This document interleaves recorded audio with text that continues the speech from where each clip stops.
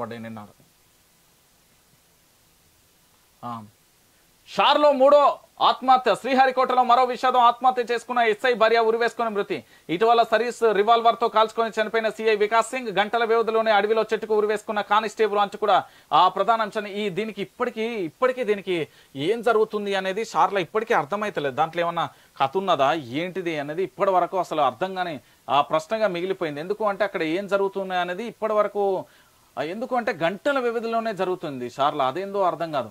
ఇగో నెల్లూరు జిల్లాలోని శ్రీహరికోట అంతరిక్ష పరిశోధన కేంద్రంలో మరో విషాదం చోటు చేస్తుంది. శ్రీహరికోటలో ఉత్తరప్రదేశ్కు చెందిన CI CISF SI Vikas Singh తన రివాల్వర్ సర్వీస్తో కాల్చుకుని ఆత్మహత్య చేసుకున్నాడు. విషయం తెలుసుకుని వెంటనే శ్రీహరికోటకు చేరుకున్న వికాస్ సింగ్ భార్య తన భర్త మరణాన్ని తట్టుకోలేక మంగళవారం రాత్రి నర్మదా గెస్ట్ హౌస్లో ఫ్యాన్కు ఉరివేసుకుని ఆత్మహత్య చేసుకుంది. ఈ ఘటనపై పోలీసు కేసు నమోదు చేసుకుని దర్యాప్తు చేసుకున్నారు. కాగా రెండు వేల పదిహేనుకు బ్యాచ్కు చెందిన వికాస్ ముంబైలోని బాబా అటమైక్ ఆ సెంటర్లో విధులు చేశారు. అయితే క్రమశిక్షణ చర్యలలో భాగం కిందటేడాది నవంబర్లో వికాస్ సింగ్ శ్రీహరికోటకు బదిలయ్యారు. కాగా కొన్ని రోజులు సెలవు కావాలని వికాస్ సింగ్ అడుగుతుండగా ఉన్నతాధికారులు తిరస్కరిస్తూ వస్తున్నారని ఆయన సహచరులు చెప్పారు.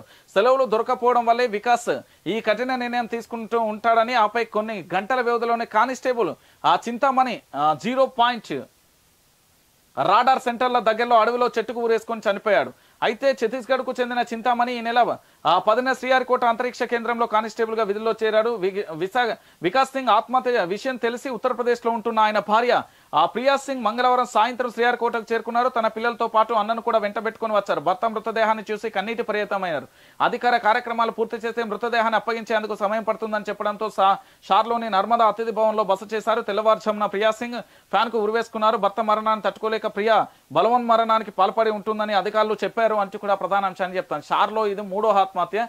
ఎందుకంటే కానిస్టేబుల్ చేసుకోవడం ఆ తర్వాత ఎస్ఐ చేసుకోవడం ఇదంతా. ఇప్పుడు ఉద్యోగం పోయినంత మాత్రాన పోయేది ఏం లేదు. సెలవులు రాకపోతే ఏమున్నది? రిజైన్ చేసి పక్క వాడేక ఏమున్నది ఆ నౌకరి? ప్రాణం కంటే ఎక్కువనా? నౌకర్లు. ఏముంటాయి అవన్నీ?